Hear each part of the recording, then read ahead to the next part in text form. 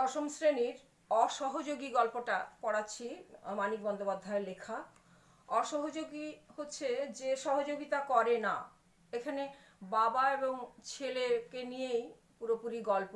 বাবা একজন আড়তদার, মুনাফা খোর, একজন স্বার্থান্বেষী মজুদদার, যাকে বলা হয়। তো তিনি যুদ্ধের বাজারে কীভাবে দু পয়সা কামাবেন, এই তার চিন্তা।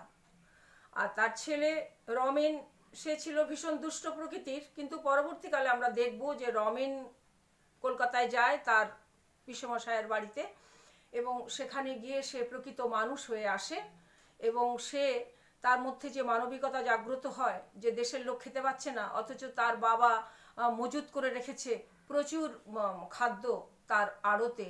সে সেখান থেকে সব নিয়ে বিলিয়ে দেয় এবং তার বাবাকে সে এইভাবে সহযোগিতা না করে সে তার মানবিকতার পরিচয় দিয়েছে। এই হচ্ছে গল্পের মূল বিষয়। দেখো, রবেনের বাবা হর্ষনাথ ধনেশগঞ্জের মস্ত আড়তদার বছরখানেক আগে রমেনকে সে তার পিস্তুত ভগ্নিপতি সূর্যপদের কাছে পাঠিয়ে দিয়েছিল। পিস্তুত বোনের যে স্বামী, সেই হচ্ছে পিস্তুত ভগ্নিপতি। সূর্যপদ তার নাম তার কাছে দিয়ে এসেছিল। ছেলেটাকে একটু শান্তশিষ্ট, ভদ্র বানাবার আশায়।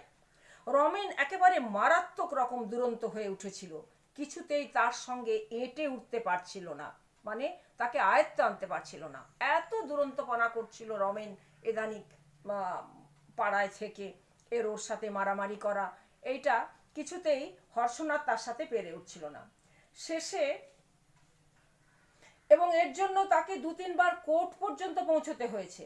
শেষে রমেন যখন একদিন ম্যাজিস্ট্রেট মিস্টার বসুর ছেলেকে মেরে রক্তারক্তি করে দিল, তখন সে পরিষ্কার বুঝতে পারল যে এ ছেলেকে সামলে চলা তার সামর্থ্য নয়।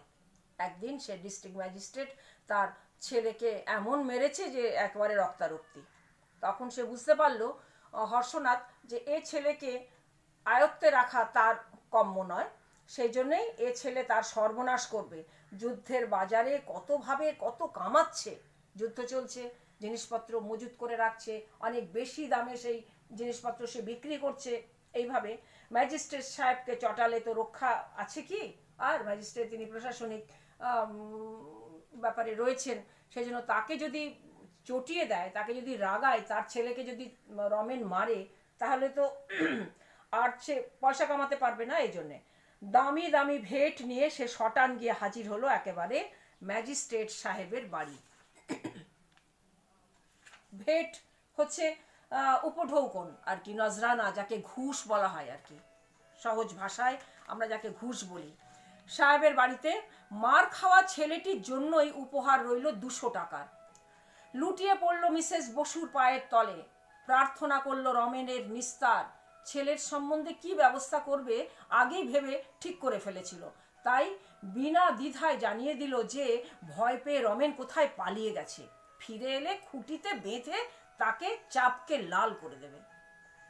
ম্যাজিস্ট্রেটের মিসেসের পায়ের তলায় গিয়ে পড়ল একেবারে হর্ষনাথ এবং বলল যে, আমার ছেলেকে আমি আর এখানে রাখব না, এখান থেকে পাঠিয়ে দেবো। এখন সে তো কোথায় পালিয়েই গেছে। আর সে আসলে তাকে খুব করে সে মারবে, এই সমস্ত বলে মোটামুটি তাদেরকে বুঝিয়ে দিয়ে এলো।